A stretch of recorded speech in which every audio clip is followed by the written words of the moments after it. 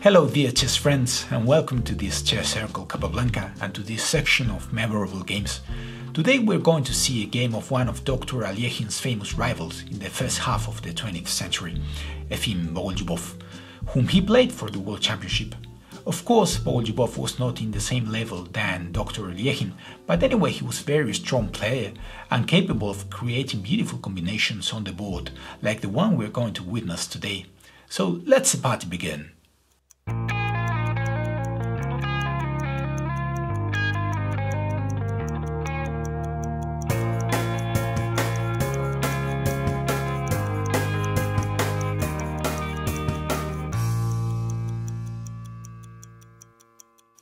Well, the game started with uh, queen's pawn, d4, and after f5, the Dutch defense, very fashionable those days, played by Dr. Alekhine himself. Uh, White chose the fianchetto system g3, knight f6, bishop g2, e6, knight f3, and d5, the so-called stonewall system. White, uh, Black's trying to get control of the important e4 square, but at the same point is losing control of the not less important e5 square. The difference is that uh, while the e5 square is no longer accessible for one of uh, black's pawns, d6 or f6 is no longer possible, uh, white after knight e4 always can play f3. So this square is, let's say, best guarded than e5. Anyway, very uh, interesting strategical fight. Castling, bishop d6. Of course, uh, black's only chance to keep control of the e5 square is uh, by using pieces for that task. And that's why bishop d6 or knight b7, etc. are important moves in this position. c4, the natural pawn break. c6, holding the center, knight c3, knight bd7, and queen c2.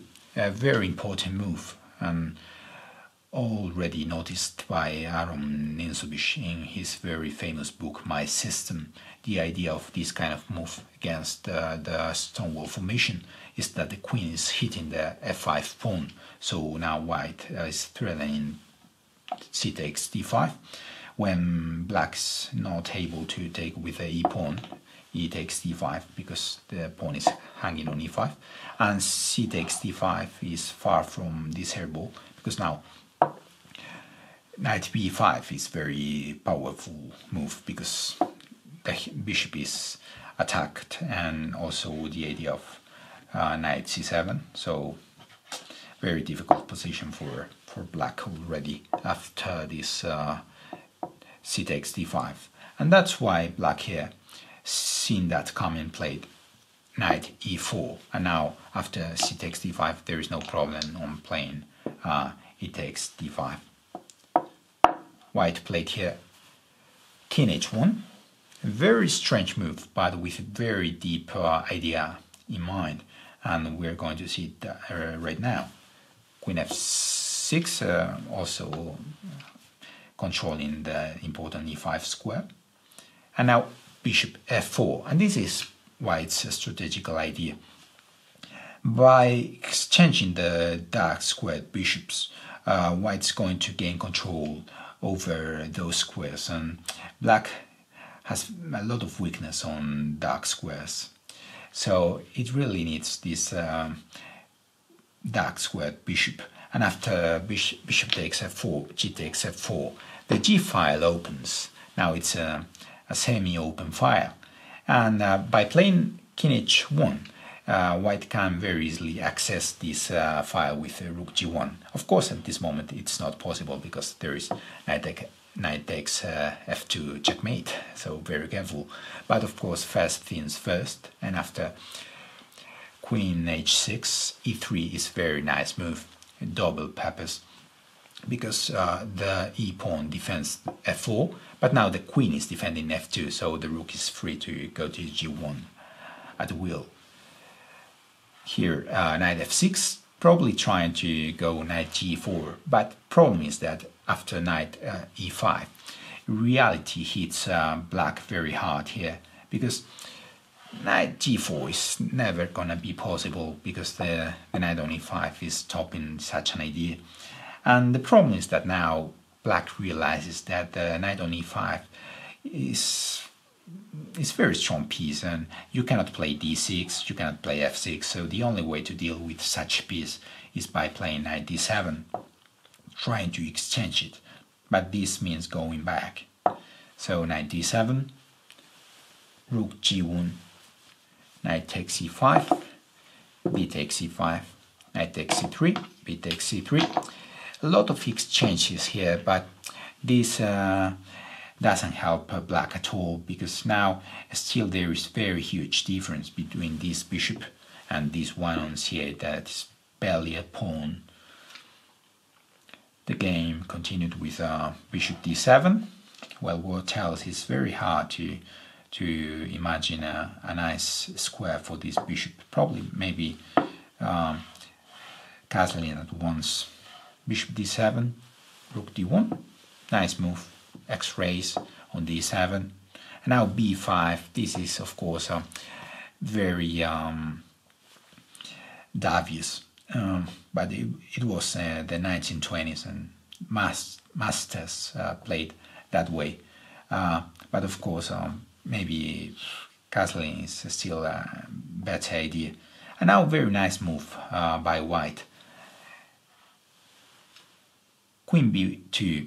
The idea is that uh, there is uh, no problem on sacrificing the c4 pawn because after uh, b takes c4 or d takes c4 even worse, queen b4 is very strong because now black cannot uh, castle because uh, the f8 square is controlled by this queen and the king is stuck on the center of the board in the middle of the board and it's uh, very very hard for black to defend this position because now also there is this idea of rook takes d7 for example rook d8 rook takes d7 rook takes d7 and now bishop takes c6 and the rook is coming to d1 queen is taking on b5 or going to d6 a lot of threats and of course uh, black cannot uh, deal with so many threats at once, so the position is completely lost. So let's go back a little and let's see what happened in the game after this uh, queen b2. Of course here black went uh, for the safe one, so he played uh, castling before it was too late and the queen appeared on b4. And now uh, queen a3 nice move highlighting the weakness of uh, black's uh, dark squares. Rook fd8, pawn takes b5, c takes b5, and now queen a6. And my question for you is, what's white's threat in this position?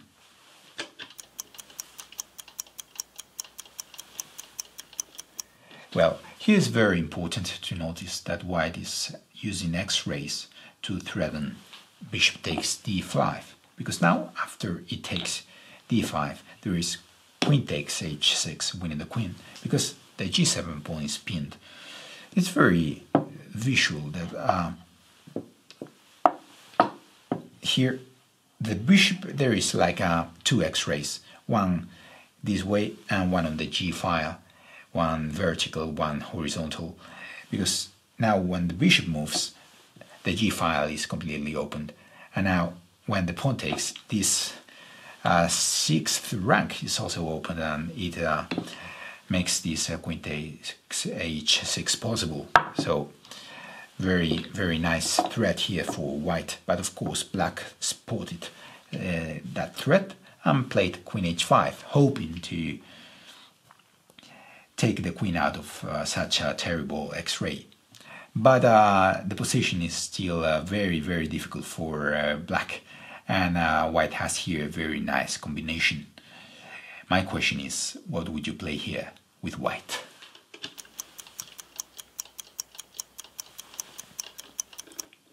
Well, but here, believe it or not, bishop takes d5 is also possible. This is still possible because after e takes d5, the only move that makes sense because otherwise the rook is threatened and e6 is hanging and well, black is lost. So he takes d5 and now rook takes g7, the real killer in this position.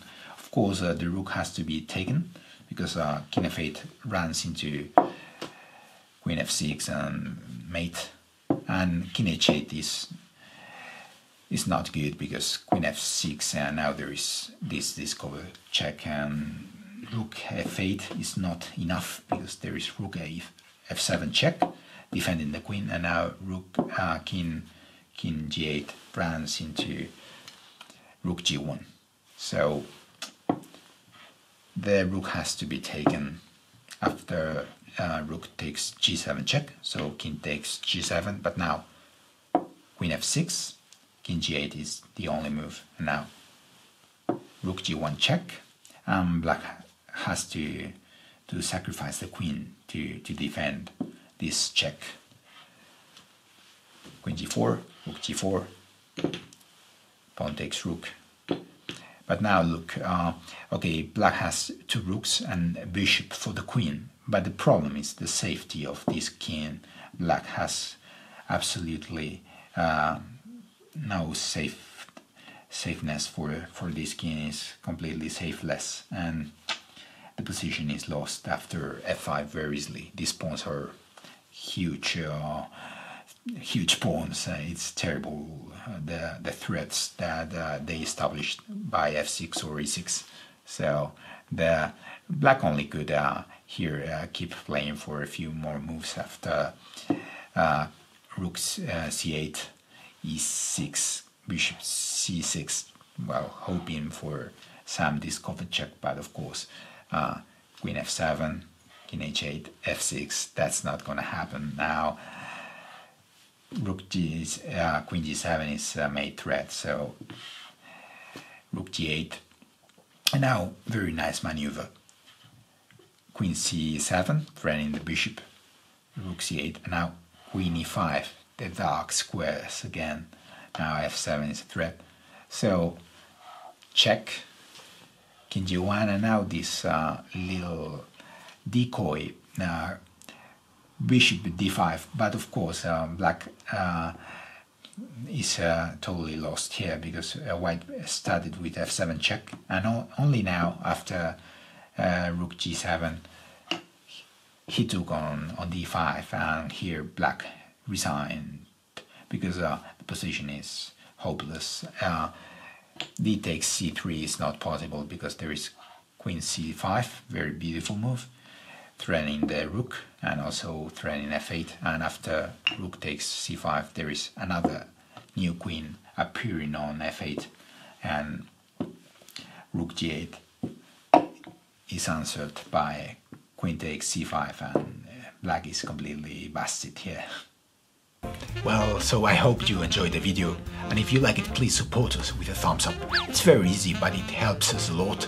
And if you are new to the channel, I invite you to subscribe, and I hope to see you soon in this chess circle Capablanca with uh, new videos, new patterns, but mainly with chess for everyone.